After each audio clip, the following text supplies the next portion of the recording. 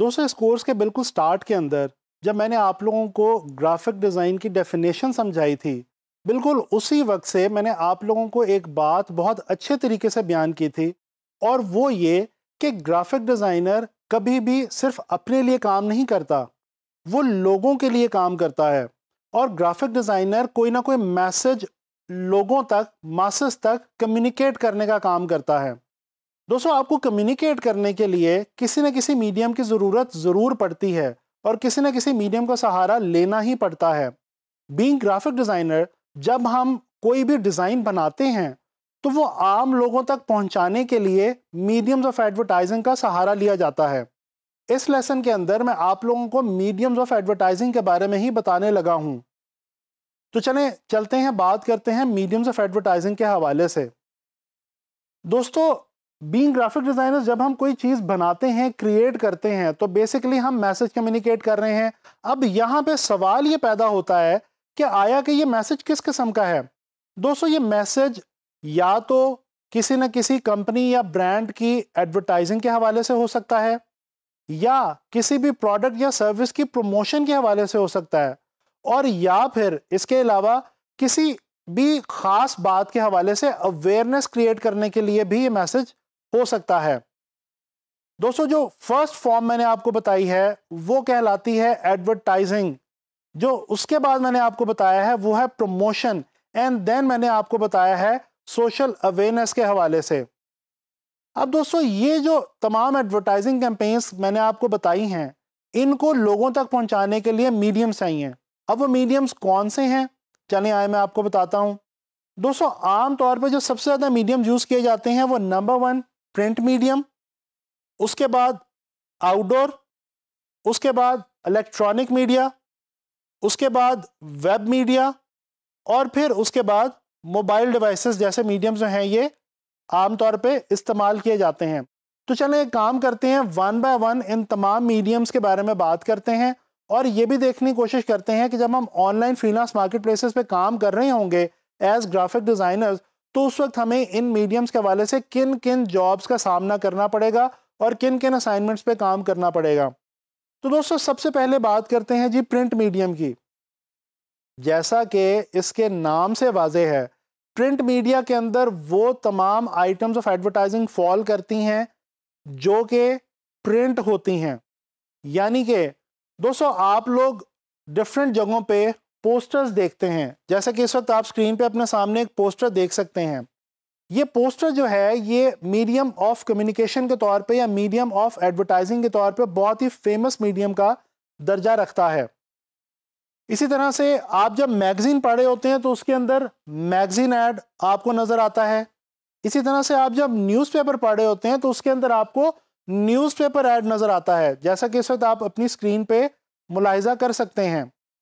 इसके अलावा दोस्तों, जब किसी कंपनी की प्रोफ़ाइल प्रिंट होनी हो, या इसके अलावा विजिटिंग कार्ड स्टेशनरी वगैरह प्रिंट होनी हो तो ये तमाम की तमाम चीज़ें किस मीडियम में फॉल करेंगी, ये आपने याद रखना है जी, ये फॉल करेंगी प्रिंट मीडियम के अंदर। अच्छा जी, इसके अलावा अब हम बात करते हैं आउटडोर मीडियम की। दोस्तों आउटडोर मीडियम के अंदर जो आम तौर पे आइटम्स फॉल करती हैं, वो हैं होर्डिंग जैसे कि आप लोग डेली जब अपने घर से निकलते हैं तो रोड्स के ऊपर आप डिफरेंट प्रोडक्ट्स या डिफरेंट सर्विसेज़ के हवाले से होर्डिंग्स या बिल देखते हैं। ये जो होर्डिंग्स या बिल हैं, जो आप आउटडोर में अपनी वॉल से बाहर देखते हैं, ये जनाब अली फॉल करती हैं आउटडोर मीडिया के अंदर। इसके अलावा दोस्तों, आप अक्सर स्ट्रीट्स के ऊपर या रोड्स के ऊपर बैनर्स देखते हैं। इसी तरह से आप लोग पोल साइंस के ऊपर स्टीमर्स लगे हुए देखते हैं, या इनको हम पोल साइंस भी कह सकते हैं। तो ये भी जो है फॉल करते हैं आउटडोर मीडिया के अंदर। इसी तरह से दोस्तों, अगर आप किसी शॉप के ऊपर या किसी बड़े डिपार्टमेंटल स्टोर पे जाएँ तो वहाँ पे आपको शॉप साइंस लगे हुए नज़र आते हैं। ये जो जितने भी इस तरह इस तरह के जो मीडियम्स हैं, इस तरह के जो आइटम्स हैं, ये फॉल करते हैं आउटडोर मीडिया के अंदर। अच्छा जी, ये तो हो गया प्रिंट और आउटडोर चलें, अब हम बात करते हैं इलेक्ट्रॉनिक मीडिया के हवाले से। दोस्तों इलेक्ट्रॉनिक मीडिया के अंदर वो तमाम जॉब्स फॉल करती हैं ग्राफिक डिज़ाइनर की, या वो तमाम आइटम्स ऑफ़ कम्युनिकेशन जो है वो फॉल करती हैं, जिनका ताल्लुक इलेक्ट्रॉनिक मीडिया से, यानी कि फ़िल्म एंड टीवी वगैरह से है। दोस्तों, जब आप मुख्तलिफ़ फ़िल्मों के और मुख्तलिफ़ टीवी प्लेज या और जितने भी प्रोग्राम्स होते हैं, उनके ट्रेलर्स देखते हैं, या इसी तरह से जब आप कोई एक प्रोग्राम देख रहे होते हैं और वो वक्फा आता है बीच में और वक्फे के दौरान में कुछ फिलर्स आते हैं इसी तरह से और बहुत सारी न्यूज़ इंफरटेनमेंट या एंटरटेनमेंट के हवाले से जितने भी मोशन विजुअल्स आप देखते हैं, जिनके अंदर ग्राफिक्स इन्वॉल्व होते हैं स्क्रीन के ऊपर, वो तमाम के तमाम फॉल करते हैं इलेक्ट्रॉनिक मीडिया के अंदर। तो जब आपको आपका क्लाइंट स्क्रीन के लिए कुछ भी डिज़ाइन करने को कहे और वो आपको बताए कि मैंने इसको इलेक्ट्रॉनिक मीडिया में प्रोड्यूस करना है या चलाना है तो डेफिनेटली वो जो आइटम आप डिज़ाइन करेंगे वो फॉल करेगी किसमें इलेक्ट्रॉनिक मीडिया में।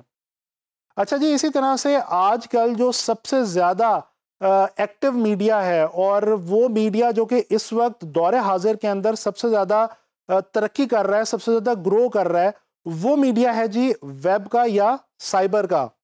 जी हाँ दोस्तों, इस वक्त हम सबसे ज़्यादा इस्तेमाल जिस मीडियम का करते हैं वो है वेब और आपको मैं यहाँ पे ये भी बताता चलूँ कि ऑल अराउंड द वर्ल्ड पूरी दुनिया में बड़ी बड़ी कंपनीज़ ने अपनी जो बजट्स की स्पेंडिंग है, वो बाकी तमाम मीडियम से कट करके इस मीडियम के ऊपर सबसे ज़्यादा लगानी शुरू कर दी है और ये है साइबर या वेब मीडिया तो दोस्तों, आपको ऑनलाइन फ्रीलांस मार्केट प्लेसेस पे इसके हवाले से भी बहुत सारी चीज़ें डिज़ाइन करने को मिल सकती हैं, जैसे कि फेसबुक या इंस्टाग्राम के हवाले से पोस्ट डिज़ाइन करने के लिए आपका क्लाइंट आपको कह सकता है। इसी तरह से आपको किसी वेबसाइट का डिज़ाइन करने को कहा जा सकता है।